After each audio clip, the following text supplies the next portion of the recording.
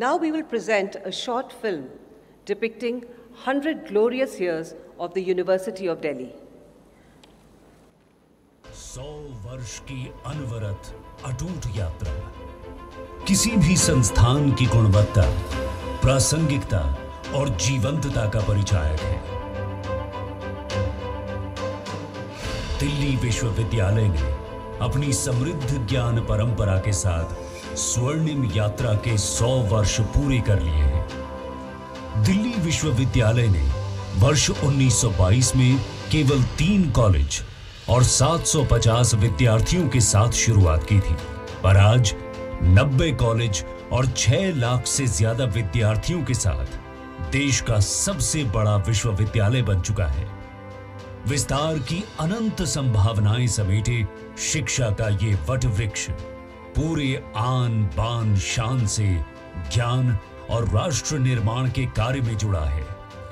क्योंकि पिछले सौ सालों में विश्वविद्यालय से निकले अनेक विद्यार्थियों ने राष्ट्र जीवन में जो बहुमूल्य योगदान दिया, उनकी विरासत नई पीढ़ी को लगातार प्रेरणा दे रही है। साल 1931 में गांधी जी और इरविन के मध्य समझौता इसी विश्वविद्यालय के परिसर में हुआ था। दिल्ली विश्वविद्यालय राष्ट्रीय आंदोलन के साथ साथ राष्ट्र की विकास गाथा का साक्षी रहा है। अपनी सशक्त एलुमनाई बेस के साथ दिल्ली विश्वविद्यालय देश दुनिया के कोने कोने में है। एक प्रकार से विश्वविद्यालय एक भारत, श्रेष्ठ भारत की भावना को प्रगाढ़ करता है।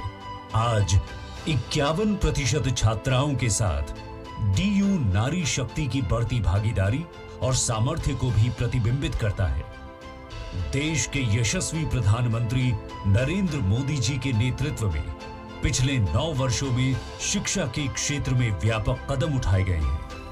चाहे राष्ट्रीय शिक्षा नीति हो, हायर एजुकेशन को फ्यूचर रेडी बनाने से जुड़े कदम हो, या युवा शक्ति की ऊर्जा को कौशल, नवाचार और उद्यमिता से जोड़ने से जुड़े प्रयास हों ऐसे सभी कदमों से आत्मनिर्भर और विकसित भारत की मज़बूत नींव तैयार हो रही है।